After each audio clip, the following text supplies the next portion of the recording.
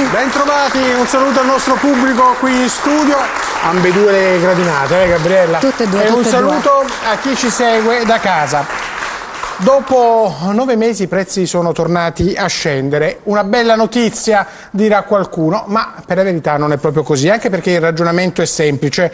Si diminuiscono i prezzi quando non si vende, se non si vende vuol dire che i consumi non decollano e questo significa ancora che la tanto agognata ripresa è ancora, è davvero molto molto lontana e lo hanno confermato tutto questo anche, anche i grandi del pianeta riuniti a Shanghai nei giorni scorsi per il G20. Sì, e nel nostro pa- paese i consumi non decollano anche perché i cittadini evidentemente alla ripresa non credono e insomma temendo tempi bui invece di spendere preferiscono mettere da parte i soldi. Insomma, di risparmio in risparmio, pensate, il tesoretto accantonato dagli italiani lo scorso anno ammonta ed è aumentato di circa 70 miliardi di euro. In questo quadro ci porremo no? e porremo ai nostri ospiti eh, delle domande. Cosa può e cosa deve ancora fare il governo italiano per rilanciare l'economia? Eh, l'ipotesi di un taglio delle tasse di cui si parla finalmente in questi ultimi giorni è un'ipotesi concreta e risolutiva? I timori degli italiani che continuano a risparmiare sono fondati? Ed ancora, se è proprio necessario risparmiare, qual è il modo migliore per tenere al sicuro, investire e tenere al sicuro i propri soldi? E beh, questa, queste Gabriella sono le domande, lo dicevamo, che porremo ai nostri ospiti che raggiungiamo in postazione Tante, tante domande, attualità. tante Eccoli domande qui, che ci coinvolgono, subito. generano un po' di apprensione, dunque ci faremo aiutare da loro. Benvenuto Luigi Paganetto, economista, docente all'Università di Tor Vergata di Roma, bentornato professore. Benvenuto anche Sergio Maria Battaglia, segretario generale Unimpresa e un bentornato Buonasera. anche a Fabrizio Premuti, segretario nazionale dell'Associazione di tutela dei consumatori Consumer Italia. Grazie.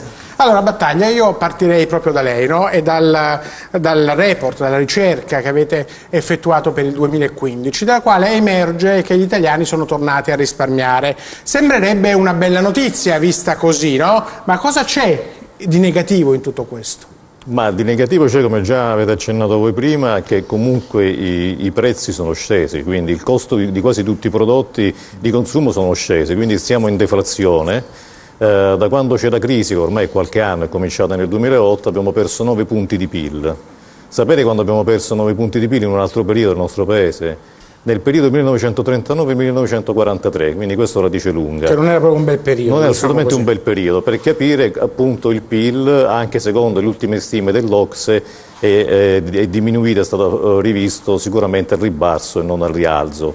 Quindi è chiaro che c'è questo timore, nonostante appunto i depositi in banca siano aumentati, c'è questo timore ovviamente di investire, di spendere. Non riguarda soltanto le cosiddette famiglie, riguarda anche le imprese che non investono Ecco, e, anche, e anche le imprese straniere ovviamente.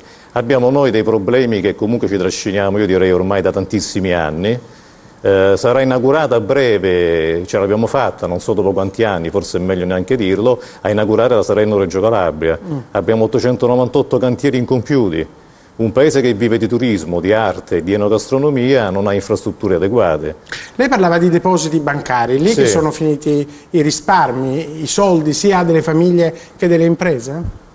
Ma credo sicuramente sì, cioè i dati, che- i dati che noi abbiamo diciamo, rie- rielaborato e comunque studiato ci dicono questo, che nel complessivo, ovviamente non soltanto comprese le imprese e le famiglie, abbiamo rispetto al 2014, eh, i dati del 2015 ci dicono più di 70 miliardi in più di depositi presso le banche. Per dirla in soldoni, diciamola così, eh, li tengono sia le famiglie che le aziende sui conti correnti, sui depositi bancari, come se fosse sotto il materasso, diciamo così. Praticamente per, sì. Per i tempi peggiori? sì. Per i tempi peggiori che chissà poi quando è che arriveranno quelli migliori. Quindi il problema è questo, che in realtà già il governo Monti quando si insediò disse a gennaio faremo le misure per la crescita, io non ho capito a gennaio di quale anno, però la crescita sostanzialmente, concretamente non mi pare che finora, nonostante i segnali recentissimi di poche ore fa, insomma ci sia una crescita. Ne parleremo di questi segnali, Certo. che sono segnali E importanti. il quadro insomma, tracciato da battaglia legittima le preoccupazioni degli italiani, le vostre preoccupazioni che oggi più che mai vogliamo coinvolgere nella nostra riflessione. Eugenia. Sì, fateci sapere se anche voi siete tra coloro che non vedono particolarmente roseo il futuro e diteci se siete riusciti a risparmiare qualcosa in questo nel 2015 o se invece avete dovuto dare fondo ai vostri risparmi. Ancora mutui, affitti o spese mediche, raccontateci anche i capitoli di spesa che fate più fatica a gestire nella vita di tutti i giorni. Potete farlo telefonandoci al numero verde 822 8896 e lasciandoci un messaggio, potete scriverci a siamo noi chiocciola chiocciolatv2000.it, potete mandarci un tweet chiocciola siamo noi tv2000 o volendo potete venirci a trovare sulla nostra bacheca di Facebook. Allora professore ci affidiamo alla sua chiarezza espositiva perché in questo momento, no, ci dicono tutti gli analisti in Italia, in Europa, è deflazione. Perché, eh, innanzitutto spieghiamo che cos'è la deflazione e perché non dobbiamo considerarla una buona notizia? Dunque, la deflazione è facile è l'inverso dell'inflazione l'inflazione i prezzi crescono, la deflazione i prezzi diminuiscono e normalmente l'economia cresce poco o diminuisce. Questa è eh, tecnicamente quella che chiamiamo deflazione.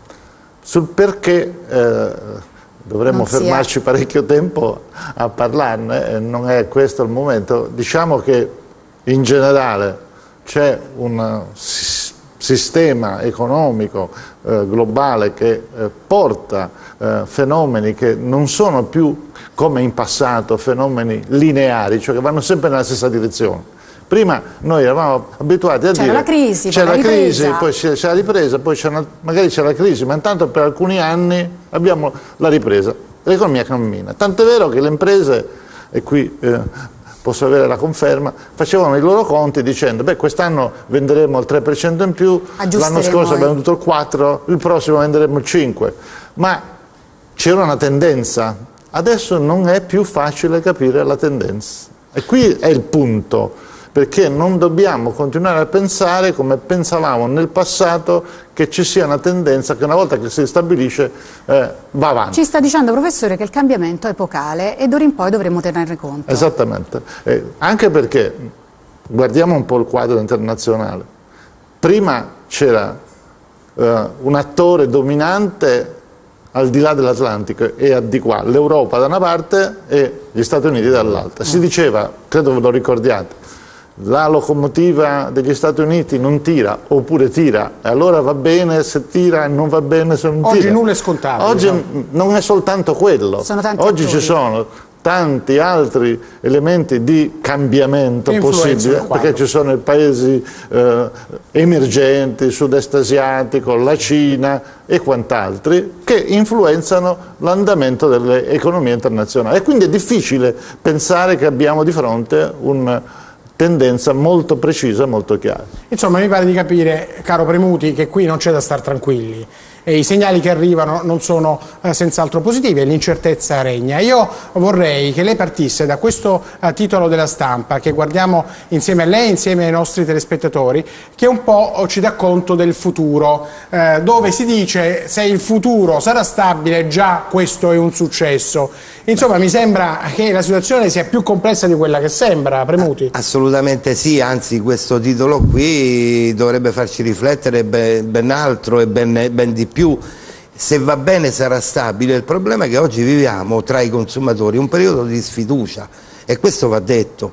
Un periodo di sfiducia che si associa alle imprese, figuriamoci, ma il periodo di sfiducia dei consumatori si associa anche a un periodo di insicurezza perché sarà pur vero che si sono generati più posti di lavoro, però è altrettanto vero che siamo fermi con la disoccupazione all'11,5%.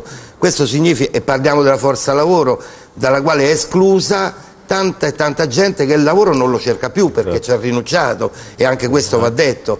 Allora il problema vero è che il futuro non è roseo per l'insicurezza che c'è tra i consumatori e tra i cittadini in genere. Tra l'altro è vero l'accumulo sicuramente di risorse sulle banche, ma è pur vero che nelle banche la sfiducia si è accentuata ancora di più in quest'ultimo periodo dove abbiamo visto purtroppo quattro banche fallire. E quindi sarà pur vero che una parte di consumatori accumula, ma quello non è più visto come un salvadanaio. Senta Premuti, lei ha dato un dato, quello della disoccupazione, ferma all'11,5% e lo fa anche alla luce di eh, novità di questa mattina che riguardano i dati dell'Istat. Allora esatto. ci aiuta in questo senso la nostra Eugenia che ci dà il quadro, appunto ci dice quali siano le novità recentissime. A te Eugenia. Ecco le novità recentissime, gli assunti a tempo indeterminato sono cresciuti nonostante gli sconti agli aziende che assumono sono scesi dagli 8.000 euro dell'anno scorso a 3.250 euro di quest'anno, parliamo comunque di 99.000 unità in più rispetto a dicembre dello scorso anno. Gli occupati aumentano dello 0,3% e il PIL cresce eh, dello 0,8%, cifra che supera le anticipazioni che erano state date. Tutti questi eh, dati fanno twittare Renzi in questo modo, scrive con questo governo le tasse vanno giù, gli occupati vanno su, le chiacchiere dei gufi invece stanno a zero e non gli basta Twitter, usa anche Facebook, questo qui è il tweet e poi andiamo anche su Facebook dove invece il Premier scrive un post che intitola Post urticante per gufi e falchi e quindi dove ripete tutti i dati. Allora professore, Renzi, insomma, eh, con il suo post ci dice l'Italia si è rimessa in marcia insomma, alla faccia dei cosiddetti gufi, però gli italiani eh, nel frattempo eh, non si fidano e abbiamo detto risparmiano, metto da parte, soprattutto perché a preoccuparli sono le tasse. Ma... Le tasse sono la prima preoccupazione, sono preoccupati di possibili mm. anche aumenti. Allora io vorrei chiederle, intanto se però questo... prima no... delle tasse, sì. chiediamo un attimo un commento su queste novità di stamani, no? Beh, perché cerchiamo sì, di sì, leggerle... facciamolo globale il commento, diciamo anche alla luce di questa preoccupazione che si colloca lì, perché Renzi nel suo post dice le tasse, abbiamo combattuto l'evasione fiscale quindi in qualche modo cerca di rassicurare gli italiani. Allora, eh, mettono da parte gli italiani e lo ci dica se noi siamo veramente tra i paesi più tartassati d'Europa, se è vero perché questa insomma, è la voce ricorrente, e eh, perché, soprattutto secondo lei, e che cosa accade altrove? Possiamo avere un metro di paragone, poi insomma estendiamo il giudizio Beh, ai dati e al posto. Bisogna dire che in Europa la tassazione è in generale eh, elevata non esattamente come quella italiana, ma all'incirca di quella dimensione.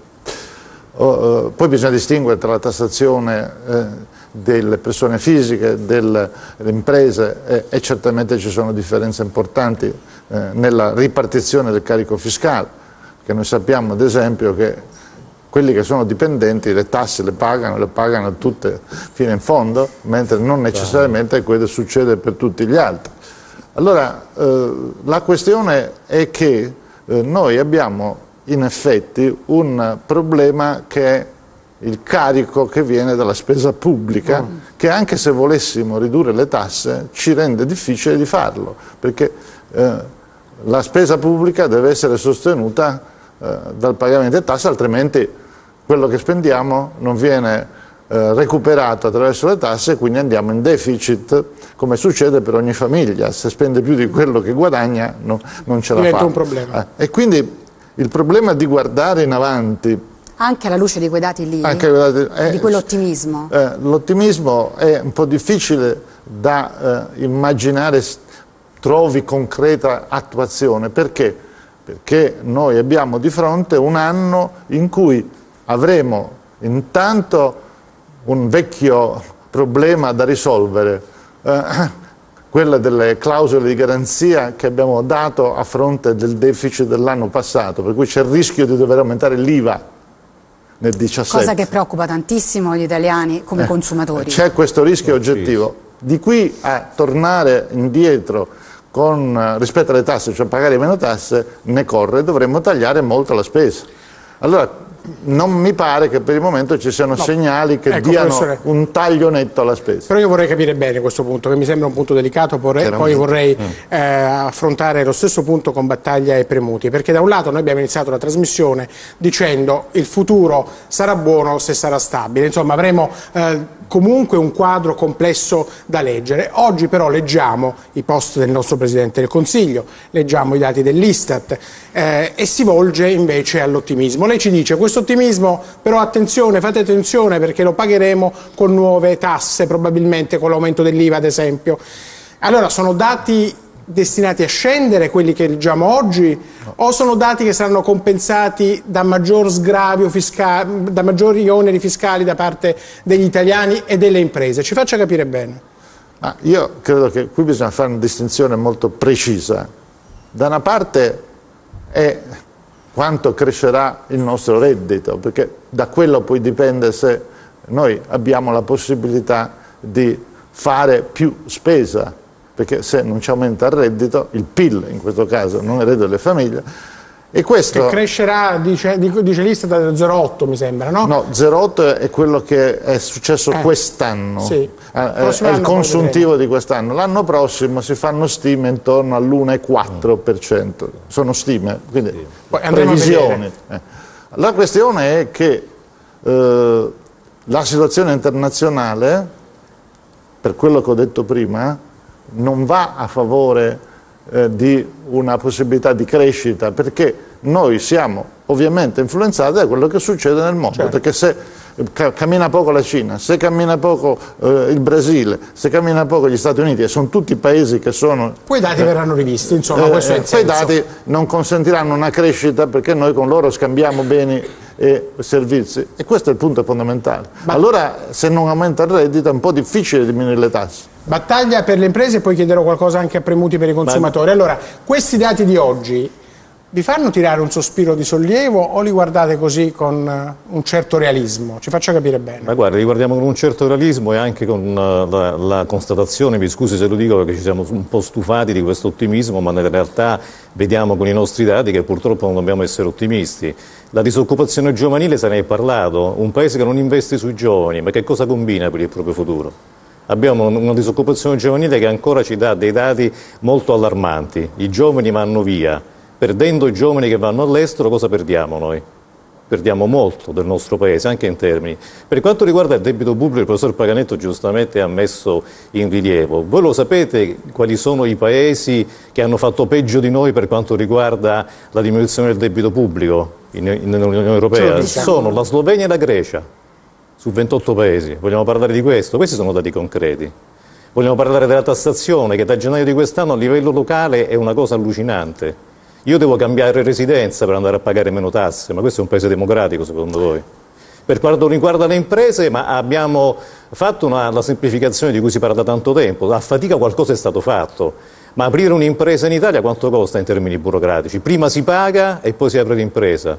Negli altri paesi, non dico evoluti, ma insomma che stanno su un livello Normali. di normalità, non mi pare che sia così, la Germania, l'Inghilterra e quant'altro. No? Premuti sorride, credo che sia abbastanza d'accordo sui rilievi di battaglia, no? sui suoi eh, io, io, rischio di essere messo poi tra quelli che fanno i gufi, però poi mi sembra che ci sia anche qualcuno che fa troppo il fringuello. Esatto. Per cui... questa è bella. Eh vabbè, ma questa è quella che ci tirano un po' fuori dalla bocca, però adesso un problema ci sarà realmente se in questo paese siamo stati costretti a fare una legge che abbiamo chiamato salva suicidi, ci sarà un motivo, no? Quindi tanto roseo il futuro, non lo vedevamo neanche nel 2012, è il paese che va avanti a forza di 0, ma lo 0, in un andamento globale, e il professore ce l'ha spiegato in maniera perfetta, che è così ondivago non ci può portare all'ottimismo. L'ottimismo si deve basare su problemi reali, su situazioni che si concretizzano. Invece abbiamo i discount che crescono e la grande distribuzione, quella di brand, quella di marca, che invece diminuisce e va in sofferenza. Questo vuol dire che i consumatori rinunciano anche alla qualità, rinunciano esatto. anche alla spesa. Allora come facciamo noi essere ad essere ottimisti? ottimisti rispetto alla stabilità di una ipotetica soluzione economica per i consumatori? Per le imprese hanno già parlato, sì. non aspetta a dirlo. Allarghiamo un po' la visuale. E fringuelli, sì, ma, eh? sì, allarghiamo un po' il nostro spettro perché coinvolgiamo il collega Moria Lungo del Sole 24 Ore che è collegato via Skype con noi da Milano. Moria, intanto ben arrivato. Buongiorno a tutti. Allora, che aria tira oggi sul fronte economico italiano? Beh, l'aria l'avete abbastanza descritta con, eh, con un certo... Con una certa Ci sono eh, più sì. corvi o più fringuelli? Ma ci sono tanti corvi, ma c'è anche qualche fringuello, secondo me hanno mm. più ragioni i corvi, però ehm, bisogna vedere come va il futuro. Allora, il problema è questo. L'Italia è vero, tutto quello che avete detto io lo condivido, l'Italia cresce troppo poco, è sempre stato così, cresceva troppo poco prima della crisi, cresce troppo poco ora. Perché cresce troppo poco? Per tanti motivi, tra cui la pressione fiscale, la burocrazia, l'avete citati tutti, ma ci sono anche fattori strutturali molto, molto pesanti che fanno rallentare l'Italia. Quali sono? Per esempio il debito pubblico. Ci sono decine di studi che dimostrano che quando il debito pubblico di un paese è troppo alto, questo zavora la crescita, ma è intuitivo capire perché. Lo ricordava Battaglia lo Stato deve pagare tanti interessi e questo riduce risorse per la crescita economica. Un altro elemento strutturale che sta pesando molto e peserà sempre tantissimo è, è la, la, l'aspetto demografico. In Italia si sa purtroppo abbiamo una popolazione molto anziana, eh, i giovani eh, nascono pochi bambini, anzi continuano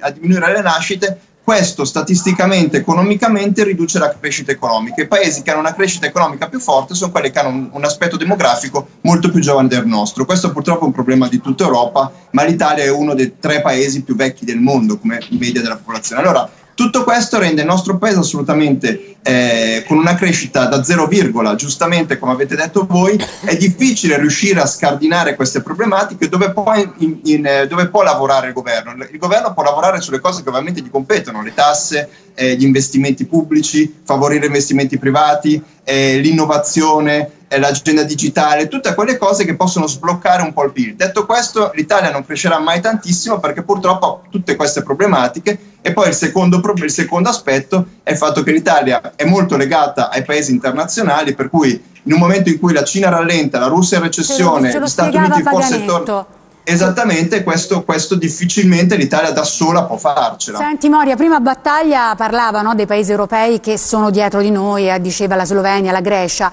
ma negli altri paesi europei le cose stanno andando diversamente? Allora no, i problemi sono un po' di tutti, eh, la crescita bassa, la deflazione, tutte queste cose sono un po' di tutti. Noi abbiamo delle nostre specificità che purtroppo ci trasciniamo dietro da tanto tempo. La prima, ripeto, è il debito pubblico alto, anche gli altri hanno aumentato il debito in questi anni, soprattutto perché per esempio hanno salvato le banche, ma noi avevamo un debito già grosso prima, quindi è come se uno inizia una scalata già con uno zaino pieno di sassi, gli altri hanno messo qualche sasso nello zaino strada facendo, ma noi siamo partiti con lo zaino pieno di sassi. Quindi questo è un problema, è un problema nostro, la burocrazia, le tasse molto alte, e tutto questo, ma soprattutto una spesa pubblica che secondo me non va soltanto tagliata, più che tagliata la spesa pubblica andrebbe razionalizzata, i soldi andrebbero spesi meglio, forse non meno, ma meglio, questo lancerebbe, lancerebbe l'economia. E, e, poi servono investimenti, ma voi lo sapete che gli investimenti in Italia calano, sono in calo da tantissimi anni, da quando è iniziato l'euro gli investimenti in Italia calano, il credito bancario da quando è iniziato l'euro è aumentato, ma tutta questa massa di liquidità che è arrivata dalle banche alle imprese fino alla crisi del 2011 non si è tradotta né in investimenti né in crescita economica. Quindi questi sono problemi strutturali grossi non che certo un governo da solo in, in tre giorni non può risolvere, ma bisogna iniziare una strada per risolverli. Ecco, una strada per risolverlo, il problema, che mi sembra un problema complesso, perché Longo dal Sole 24 Ore ci diceva, beh, l'Italia da sola non ce la può fare a uscire da questo tunnel, professore.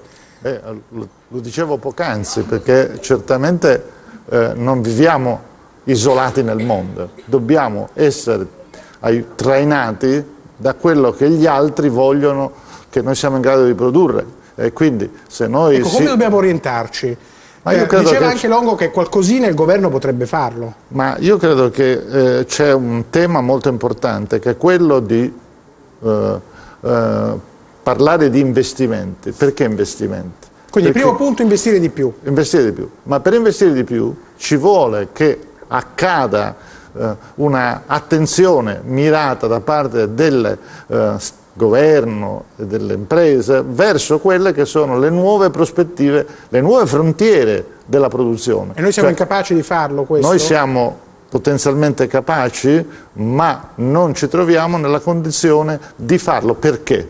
In parte per quello che è stato ricordato, perché fare un'impresa, quindi impiegare delle risorse, è molto più difficile nel nostro paese che negli altri. Eh, abbiamo una difficoltà che è molto importante, legata, guardate un po', ai giovani che non trovano occupazione, perché sono proprio i giovani che negli altri paesi, in particolare negli Stati Uniti, hanno fatto la fortuna di imprese nuove. È chiaro che i giovani sono quelli che... Cioè le idee le abbiamo, le idee ma le non abbiamo, abbiamo l'humus per farle crescere. Non abbiamo un contesto che favorisca questa crescita. Allora io credo che se noi pensiamo all'investimento, una spesa, è, un è, una spesa. No? Certo. E quindi questo va a qualcuno se c'è una spesa, se io devo fare una fabbrica, devo costruire, ci sarà chi costruisce la fabbrica dal punto di vista dell'edificio, chi metterà i macchinari e ci saranno poi coloro che lavorano che prendono un salario. Questo, Tutto questo è una spinta all'economia, ma bisogna farlo. Ecco, guardo battaglia perché lei ci stava dicendo gli investimenti possono essere un elemento di ripartenza e ci diceva però l'Italia ha le sue zavorre e farlo è difficile anche perché non è orientato a farlo verso quello che serve. Battaglia, ma le imprese eh, in questo senso giocano un ruolo soltanto passivo o possono dire anche loro guardare lungo? Ma guardi, assolutamente no. Innanzitutto non dimentichiamo un dato importante che molti fanno finta di trascurare, che l'Italia è fatta principalmente da micro, piccole e medie imprese. Il Made in Italy è ancora il terzo brand italiano. I risultati dell'agroalimentare come esportazione nel 2015 sono stati fantastici. Questa è una delle nostre principali materie prime. Non siamo in grado, ma non perché siamo stupidi come italiani, di utilizzarla al meglio, come sta anche dicendo il professor Paganetto. quali sono le difficoltà? Ricordiamo. Le difficoltà sono, sono, queste. Allora, il costo del lavoro, vogliamo parlare? Ah, abbiamo giovani che eh, hanno imparato in questi ultimi anni a, a, fare mestieri che ormai ci siamo dimenticati che sappiamo fare. Eh, abbiamo una serie di giovani che sono dei disoccupati cronici nell'area dei servizi. L'istruzione, l'università è stata riformata in senso positivo nel nostro paese, non mi sembra. La, la ricerca. La, la, la ricerca eh, quanti, ricercatori italiani, quanti, ricercatori italiani, sono apprezzati ed sono costretti ad andare all'estero? Questo è un dramma, no? La polemica di questi giorni ce esatto, quindi, Voglio dire, allora, il senso anche delle in piccole imprese italiane nel andare sui mercati esteri deve essere molto importante, ma è mai possibile che noi continuiamo a restituire finanziamenti a Bruxelles, all'Unione Europea? Si può ancora andare avanti così? Cioè io non credo, perché le nostre materie prime Sentiamo ce le abbiamo, un momento la nostra dobbiamo Eugenia. sfruttarle. No, io direi così, abbiamo, abbiamo analizzato alcune cose, no? abbiamo parlato degli investimenti, abbiamo detto quali sono le zavorre, eh, parlava Battaglia ad esempio del costo del lavoro. Eh, Longo, ma c'è l'altro mm. elemento fondamentale che sono le tasse che pesano enormemente sulle famiglie e sulle aziende, ma quando tagliamo queste tasse? Come eh, per tagliare le, le, tasse servono le risorse, è quello che il governo aspira a fare, detta tra noi non lo aspira soltanto questo governo, ma tutti i governi che ci hanno, che ci hanno preceduto hanno avuto questa aspirazione e praticamente nessuno ci è riuscito. Secondo i dati dell'Istat, lievissimamente nel 2015 la pressione fiscale è calata, quindi diciamo la strada è quella giusta, ma ovviamente non basta. E cosa servirebbe? Servirebbe avere margini appunto di flessibilità, margini per poter ridurre le tasse che per lo Stato sono le entrate ma questo si può fare soltanto se la crescita economica garantisce che, che, ridurre le tasse non va a sballare i conti pubblici, perché noi comunque, a prescindere dai parametri di Maastricht e dai parametri europei, ma comunque mantenere i conti pubblici in ordine è, di, è, un, è un elemento di salute pubblica. Per cui eh, per, fare, per, poter ridurre le tasse bisogna far sì che ci, il, il contesto, che ci sia il contesto che permetta di farlo. Senti, Purtroppo Mario. lo dicevamo adesso, nel 2016 le stime di tutti gli economisti sono molto più basse delle stime del governo sulla crescita e questo non lascia certamente eh, diciamo, buoni presagi. Senti Moria, siamo partiti eh. soprattutto dalle preoccupazioni degli italiani che alla ripresa, malgrado insomma, i dati positivi post, stentano veramente a credere. No? E adesso diciamo la riduzione delle tasse. Da dove partiamo? Un'ipotetica possibile riduzione delle famiglie, delle imprese? Mettiamo un po' di pepe anche tra premuti e battaglia così. Sì. Io, io personalmente se fossi il capo del governo taglierei le tasse alle imprese e le tasse sul lavoro, perché sono quelle che poi permettono alle imprese di poter lavorare, di poter produrre, di poter quindi assumere e quindi di ridurre la, la, disoccupazione. Vediamo. Quindi io andrei a incidere lì. Ovviamente sarebbe bello ridurre le tasse a tutti, certo, ma siccome la coperta è corta, è meglio andare dove c'è la produzione, detassare chi produce e per far sì che l'economia riprenda. Mm. Vediamo se è d'accordo Paganetto. Ma eh, io credo che eh, solo parzialmente questa può essere una soluzione. Perché? Perché oggi viviamo una situazione critica dal punto di vista della mancanza di domanda. Cioè eh, il problema è che non è che si produce poco o si produce non abbastanza perché non vogliamo farlo. Le Gli italiani non consumano. Sarebbero ben liete di produrre di più. La verità è che la domanda che si trovano di fronte è una domanda che è minore di quella che è stata in passato e la crescita lo è altrettanto. Naturalmente, Quindi? se noi per ipotesi, ragionassimo nel senso di ridurre i salari, vorrebbe dire che automaticamente staremo facendo diminuire la domanda, perché i salari consentono... Quindi bisogna a, aumentare a, la domanda. Bisogna aumentare la domanda. Questo è Quindi fondo delle politiche, politiche che vengano fatte in Europa per guardare all'aumento della domanda attraverso interventi che partano dagli investimenti ma non siano soltanto investimenti. Abbiamo due visioni diverse, Longo e Pagaletto, mi pare di capire. Longo, Longo voleva, sì. No, io volevo semplicemente, semplicemente aggiungere, io sono d'accordo che manca la domanda, il problema è capire perché manca la domanda. Secondo me la domanda manca perché c'è un clima di incertezza molto forte. Allora, se io temo di perdere il lavoro, anche se i soldi ce li ho, preferisco metterli da parte piuttosto che spendere. Quindi, secondo me, per risolvere il problema bisogna incidere prima sul lavoro, quindi sulle imprese. Questa è la mia opinione. Mi sembra chiaro la, tra poco, Aggiungiamo li, li vedo scaldati. Sì, sì, sì. Cioè, hanno parecchio da dire. Sentiamo cosa, ci, cosa ci porta Eugenia. Sì, vi porto le testimonianze dei nostri telespettatori. Il clima è appunto di poca fiducia. Ci dicono la mia pensione continua a scendere, come faccio ad avere fiducia e a spendere? Un altro pensionato Stato dice sulla mia pensione ho detrazione di oltre 400 euro e ogni mese con guagli, come faccio a essere incoraggiato? C'è ancora chi dice io ho quattro figli e nessuno si può curare i denti, ma quale ripresa? E poi parlano i piccoli imprenditori, ho appena dovuto chiudere l'attività, aveva sei operai, come si fa a dire che le cose vanno bene? Ancora Anna ci scrive, non solo non abbiamo risparmiato l'anno scorso, ma abbiamo fatto solo nuovi debiti, la nostra piccolissima azienda non può certo investire perché fa fatica a terminare l'anno praticamente alla pari. Ecco, quello quello Premuti che ci porta Eugenia è vostro pane quotidiano, perché come associazione dei consumatori di lamentele di questo tipo ne, ricevute, ne ricevete centinaia al giorno. Assolutamente sì. Ma allora, il problema, io ho sentito delle ipotesi che sono assolutamente ragionevoli. Anche quella dell'abbassare il Mi convincono entrambe le ipotesi, Assolutamente sì, no, non è grave. Il problema vero è che dobbiamo partire però a monte, da quello che avevamo detto prima razionalizzare la spesa pubblica, perché se si razionalizza la spesa pubblica probabilmente ce n'è d'avanzo per ridurre le tasse sia alle imprese che ai consumatori.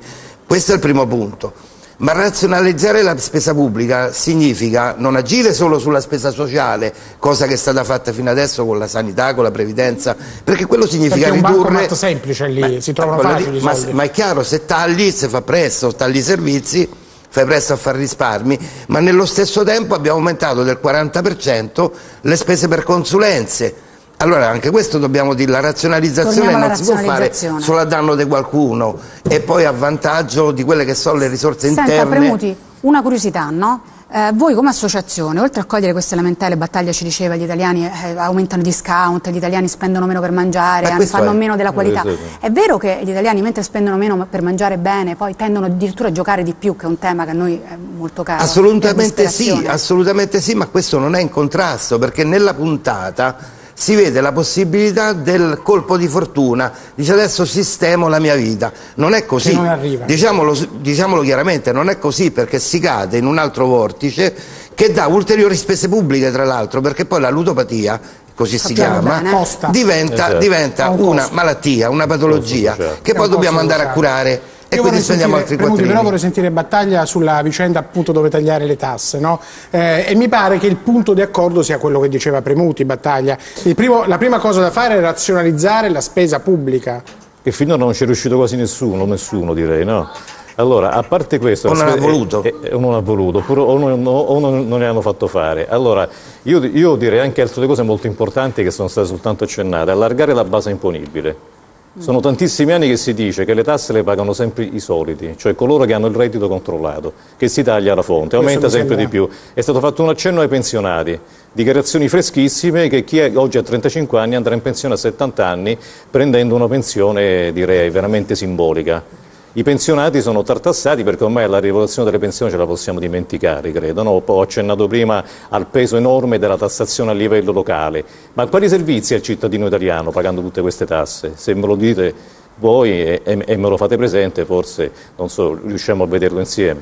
Detto questo, ma non si è parlato anche di un altro dato che ovviamente inclina di parecchio il nostro PIL, cioè le imprese che agiscono nella legalità con molta fatica, sono molto svantaggiate rispetto alle imprese che agiscono nella illegalità. Corruzione allora, la corruzione, l'illegalità. Va bene, noi anche come associazione di categoria abbiamo fatto molte, molti Battaglie. studi, molti, molti eventi su questo, ma Sapete bene che come riciclaggio rispetto al PIL italiano noi siamo quasi il doppio rispetto al riciclaggio a livello mondiale. Vogliamo parlare di questo, continuiamo a parlare di questo, della corruzione. Ultimissi- ultimissima notizia dell'autorità sull'elettricità, energia e quant'altro ha visto che ci sono 60 miliardi, non si sa dove sono finiti, in interventi fantasma nelle forniture idriche. Ma se questo continua, eh, allora è chiaro che questo appesantisce di parecchio il debito pubblico. Pagaretto, no? siamo in conclusione. Il nostro è un paese strano. eh. Ma eh, è un paese eh, in cui, come è stato detto, in fondo si fa molta spesa pubblica, ma questa spesa pubblica non sempre corrisponde a servizi effettivamente erogati. Cioè non c'è un I rapporto... soldi stra- dove vanno a finire? Beh, questo eh, lo sentiamo qualche to- eh, molto spesso in Bella televisione, Bella eh, lo leggiamo sui giornali, vi- fanno giri strani questi soldi. Però, voglio dire, il punto importante è che si può ridurre la spesa pubblica senza ridurre i servizi. È chiaro che l'incertezza di cui stiamo parlando, che Se non ci fosse quell'illegalità di cui parlava eh, Battaglia, appunto, però. L'incertezza di cui eh, i consumatori, eh, i pensionati sono vittima è proprio rispetto alle aspettative del futuro e questo influenza moltissimo il loro comportamento, è chiaro, ma è anche vero che noi eh, non possiamo uscire da questo circolo vizioso, perché giustamente è stato detto questo è il cane che si mangia la coda.